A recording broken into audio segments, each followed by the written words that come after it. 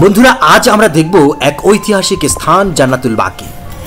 মদিনাতুল মনোয়ারা নবীজি সাল্লাহ আলাইসাল্লামের স্মৃতি বিজড়িত একটি শহর। জান্নাতুল বাকি মদিনায় অবস্থিত একটি ঐতিহাসিক কবরস্থান। এটি মসজিদে নববীর পূর্ব দিকে অবস্থিত। ইমাম মালিক রহমতুল্লাহের মতে, জান্নাতুল বাকিতে প্রায় দশ হাজার সাহাবার কবর রয়েছে।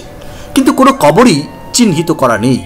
নবী করিম সাল্লাহ সাল্লামের পরিবারের বেশিরভাগ সদস্য থেকে শুরু করে সাহাবা, পীর, আউলিয়া, বুজুর্গ এবং অসংখ্য মুসলমানের কবর রয়েছে এই জান্নাতুল বাকিতে। বন্ধুরা, এই ঐতিহাসিক কবরস্থানটিতে দেখতে পাচ্ছেন যে অসংখ্য কবুতর এখানে বসবাস করছে। কবুতর হচ্ছে শান্তির প্রতীক।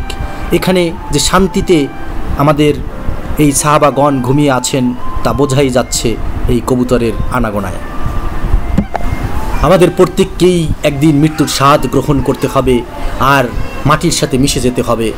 তবে বন্ধুরা, এই কবরস্থান দেখলে মনেই হয় যে আল্লাহ তালা যে তার নেয়ামত আমাদের জন্য পৃথিবীতে এবং পৃথিবীর পরে রেখেছেন, তা এখানে আসলেই বোঝা যায়।